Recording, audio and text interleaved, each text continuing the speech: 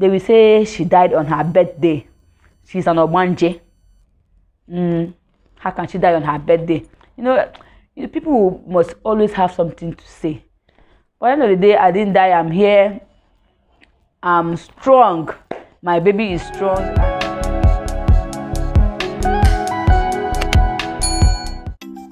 Hey guys welcome back to my channel. It's your girl constance if you are seeing this beautiful soul for the first time you are welcome. Please click on the subscribe button and subscribe. And if you are a returning subscriber you are most welcome. Thanks for tuning in. Thanks for always bringing out time to watch my videos. I appreciate you guys so much. Thank you for your support. Thank you. Thank you. Thank you. I am a nigerian youtuber based here in dakar senegal. And on this channel i'll be taking you guys on family lifestyle food vlogs story times and so many other interesting activities. Just stay tuned on this channel and don't go anywhere. So guys as you can see from the title i want to tell you guys my story. It's actually a sad one you know? But then again i want to share it with you guys. So in 2017 stroke 2018 I found out that I was pregnant. So during my first trimester, we went for a scan and I was told I was carrying twin. Yeah, we were so happy and excited about it. You know, the love I have for twins is something I can't describe. So you guys cannot imagine how happy I was when I knew I was carrying twin in my tummy. So during my second trimester, we now went for the second scan to identify their sex so when we got there now after the scan the doctor said i was carrying twin that they are both girls you know? I was super excited about it again you know? I had i already had them three boys and one girl which is four. So having two more girls is something that made me so happy. So my husband asked him are you sure? He now said once he has seen it he has seen it that he doesn't make mistake. You know you can imagine that as if he is god. So during the period i was carrying my pregnancy i couldn't wait for the babies to arrive you know two girls. Ah i was so happy. You know then i even had my photo shoot you know. And because i was told they were both girls you know i had to buy matching outfit for my girls you know. Did my photo shoot with them. I was so happy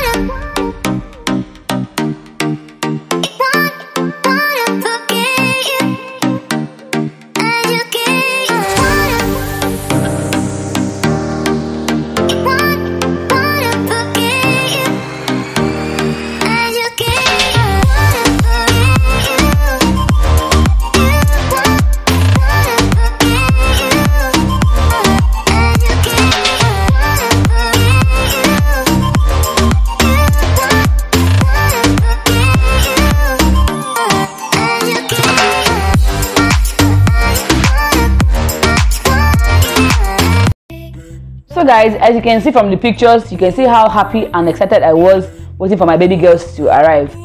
So then after then i now organized a baby shower. I invited my close friends and acquaintances they all came for the shower.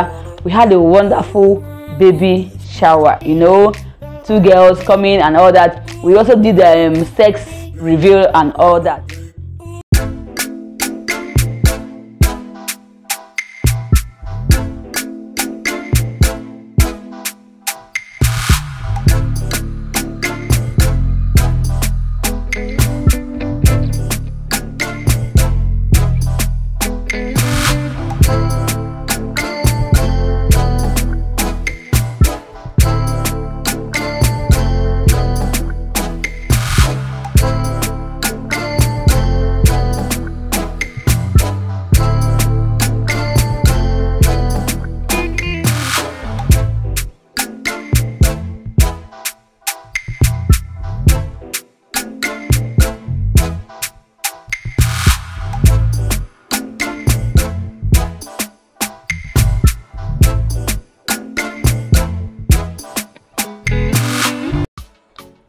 so you know during my pregnancy i was going for my antenatals you know taking care of myself and the babies to make sure they are fine then when I was nine months old and um, ready for delivery, you know, I go for exercises, you know, walking and everything.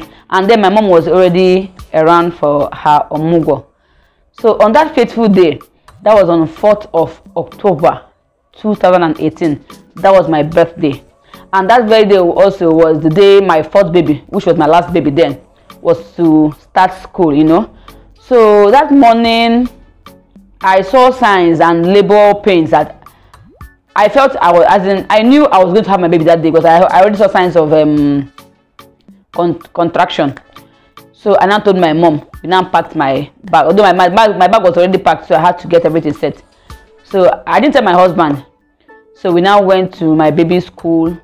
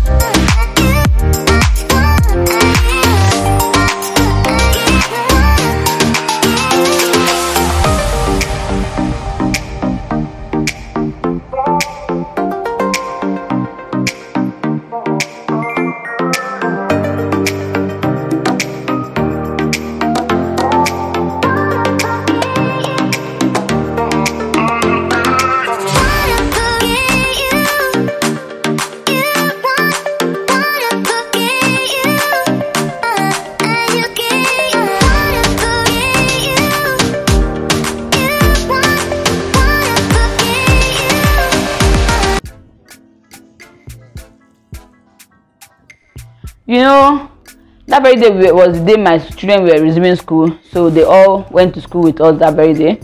So when we got to the school my husband my husband asked me to go and pay for our house rent. But the agency was very close to my children's school. So because i knew i was in labor i was having this contraction i had to trek to the place with my mom. So when we got there we finished our business with them. We now came back to the school so the labor pains were increasing but you know i intentionally had to go there on foot so i could maybe have little exercise that morning. So when i got to the school now my husband was almost through with the kids and i said ah, let's take me to the hospital. It's like i'm having labor i'm having contraction.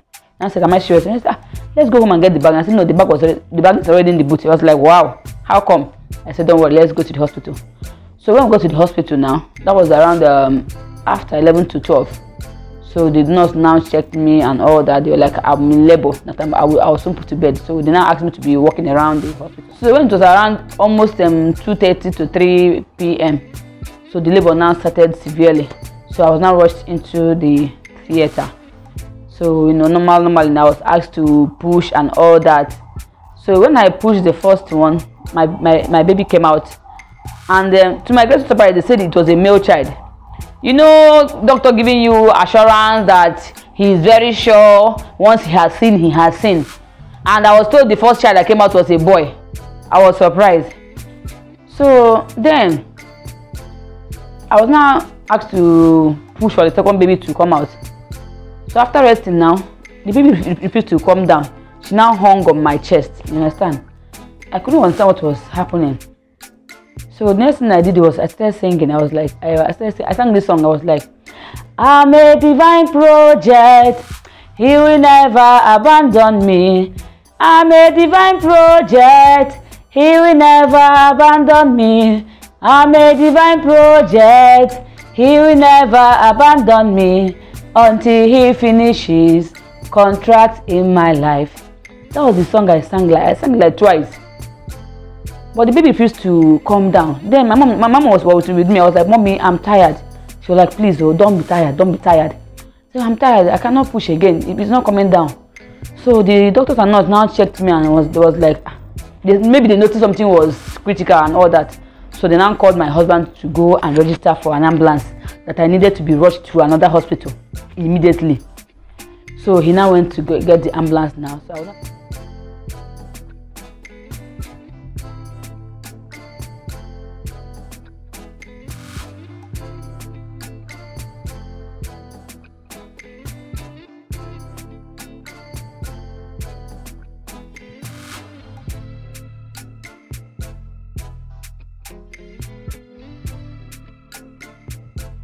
you know in life we can't really predict our future you understand? I never imagined i will one day find myself in an ambulance you understand? But look at what happened. I was in an ambulance while we were on our way to the hospital i didn't know where i was. All i knew is that i was lying down with my side yeah by the side.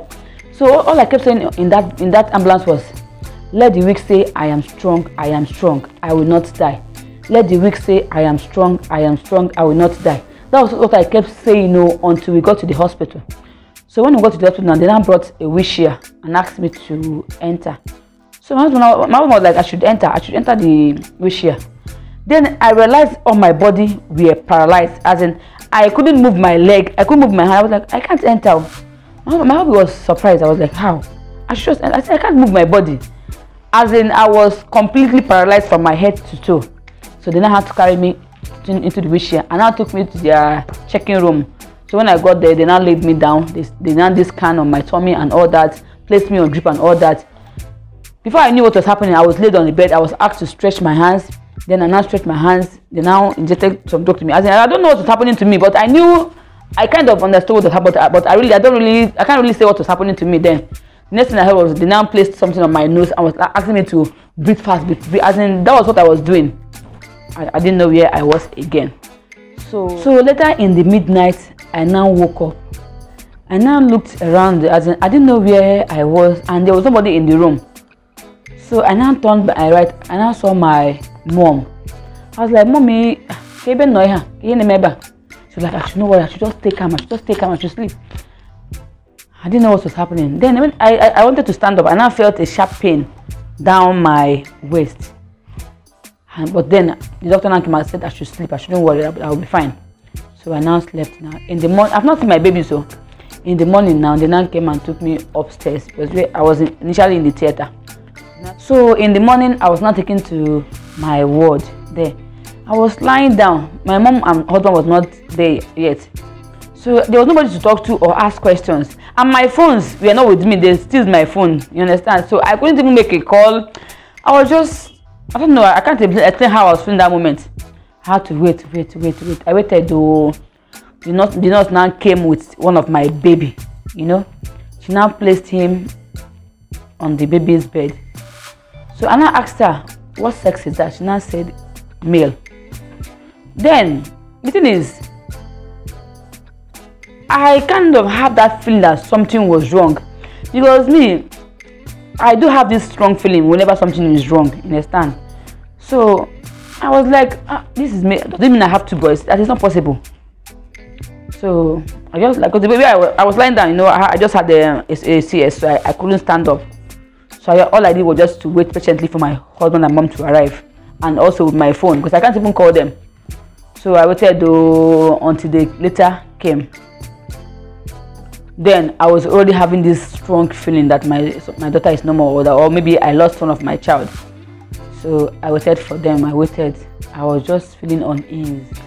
So when they came now, according to my mom, my husband had to stay behind her. You know, he was scared, or should I say, he didn't know how to break the news to me. He was he was in pain, you know. So when my mom now came in, I was like, ah, that since I've been here, that what, what happened? Where's my phone? And they only brought one baby. Where is the other baby?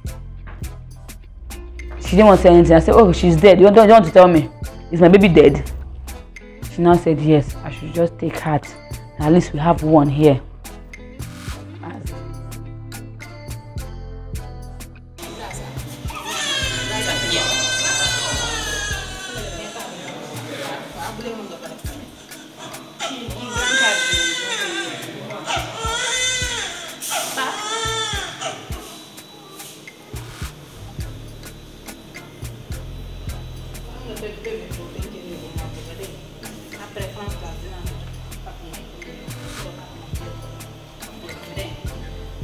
le temps ça à la Demain, on va vous donner les papiers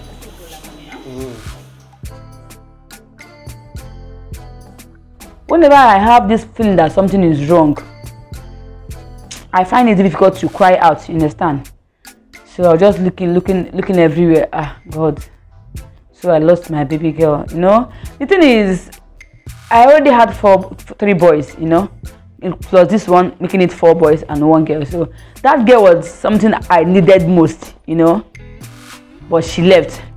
But the thing is, I felt she took my place. You know, I felt, or I feel, she took my place. You know, to stay and take care of her siblings because the situation surrounding her death is so mysterious i don't know if maybe they actually came for my life and she had to replace and then take my place. I don't know. But the thing is the, the only reason why i endured her death was i felt she took my place and all that. So the next morning that very day she was buried. So that was how i lost her. But you know the thing is after she died you know people will talk.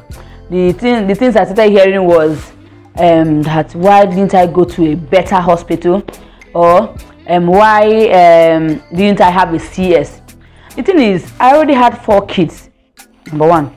Then number two is that i have been going for my antenatals doing scanning and all that. The gynecologist in charge of my antenatal. Never for one day suggested i should have a cs you know they felt I can I can have a normal delivery since I only had four, four kids.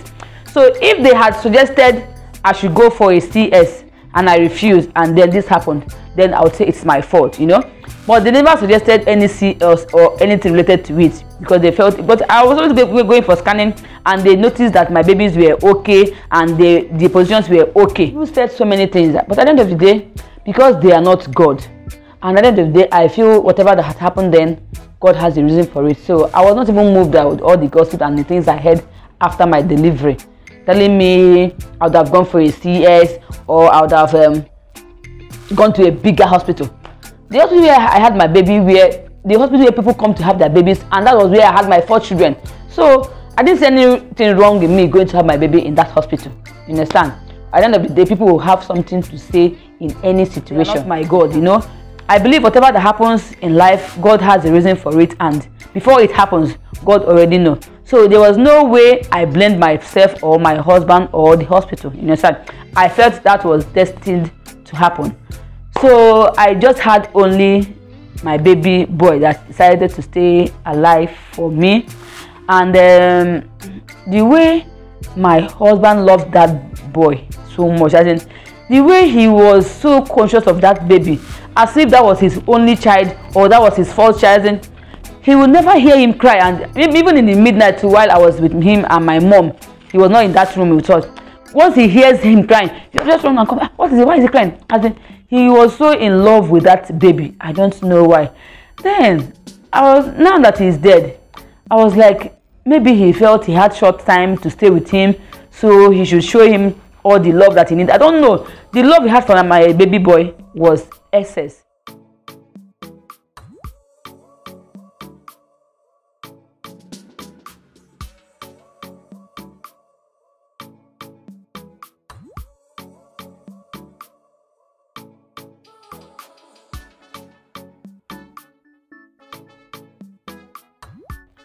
you know while i was pregnant we now decided to choose name for our baby girls. So he now said i should name one that he was going to name one. So i now named the one chimwanya annabelle. So he now said he was going to name the other one heavenly and um odira chukwuma. Understand? And i said odira chukwuma doesn't sound feminine to me that this is a masculine name that this is a male child's name. And i said but he likes the name that he has a friend that bears this name that he is in love with this name that he wants his child to bear this name. I say ah, odira chukwuma is too gross as in it's not it's not feminine at all. And i say okay should we do it odira chimma? I said so you, you just insist on having this name for your child? And i said yes that he loves the name so much that he wants her to bear odira chimma. So when i now had the baby now and he now turns out to be the first one now turns out to be a boy the excitement they had then you know i don't know maybe he felt maybe ah yeah, thank god though i'm not going to name my odira chukwuma the way i wanted and all that So he was happy and he loved that boy so much while he was alive. The eight months period he stayed with him was all love, as in as if he was the only child he had. So after eight months of my delivery and having just the baby boy being alive, my husband now died, you know. So guys, you can imagine within the space of one year, I lost a girl and a husband, you know, leaving me with five children to take care of. The, the thing is, people say I am strong, I am strong. Yeah, I try to be strong, you know. This pain is something that has been, how would I even speak the English self? Is engrossed in my heart. It's something I don't know when it's going to heal. You know, some days ago, someone was telling me ah, that I am strong, oh, that she can't bear what I'm bearing. I was like, do I really have choice? That I really have to be strong? That I have five children, you understand? And they are still very small. So if I should, maybe say, start thinking now or uh, fall into depression now or something happens to me, what will happen to those innocent kids, you understand? So to me, I feel I have no choice but to be strong for those kids. You know, if I if I didn't have those children, to me, believe me when I say dying will be my best option. As in, I feel this life is so meaningless to me. The, the very day I lost my one was the day I lost the meaning of of my existence. You know, so I feel if they were not in the picture, I don't think I'll have the, any any reason to be alive. So the only reason I'm alive now and the only reason I try to survive, the only reason I try to be strong is these children that he left behind for me. So at the end of the day, this is my story. So that my twin baby boy of then is now two years plus. Yeah, he's now schooling, he's fine and healthy. I couldn't thank God enough for his life, you know, because even that very day I had him, I I don't think he even cried out. He didn't cry when I had him, and he was weak. You understand? But he struggled to stay alive for me. You understand? So me losing a daughter and him being alive was my consolation. I was so happy he stayed for me. At least after a nine months journey, you know, you can imagine losing the two of them or losing my own life. I thank God that I'm alive. He's alive. Yeah, my daughter is no more. At the end of the day, we can't question God. So this is my story. This was how it all happened and that very day was my birthday yeah and my friends were all making posts for me you know my birthday post wishing me happy birthdays birthday and although they were calling my line it wasn't going through because it was switched off. And i have this um, group of friends that we have a group chat you understand? So they came that morning i was like this one Constance hasn't made a post on her birthday. What's up? Is she in the delivery room? Because they know i was heavily pregnant and I was almost due for delivery. So they couldn't place their hand on what was happening. They but they didn't hear from me. So they made a post for me wishing me happy birthday and all that next day so, i now went to the group chat and told them that i'm fine that i had my baby yesterday that um i had the two of them but i lost one i lost the female child and all that you know when a good news comes with a bad news the spirit is not always high you understand so they were happy for me they were like in all things we should thank God since I'm alive. That is the most important thing. So that was how it happened. You know, the thing is, that was my birthday. And what happened to me, guys, believe me when I say, what happened to me, if it should happen to about 100 women, five will survive. I'm telling you.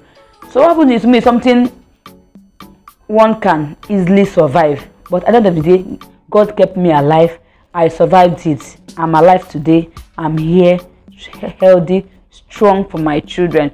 You know if i had died that day they will say she died on her birthday. She's an ogbanje mm, how can she die on her birthday? You know, you know people must always have something to say. But end of the day i didn't die i'm here. I'm strong. My baby is strong and uh, we are now twin. We know we celebrate our birthdays every 4th of october. So guys this is my story thanks for watching. Thanks for listening. Please at the end of this video don't forget to like comment share and please subscribe. All right guys see you in my next video. Bye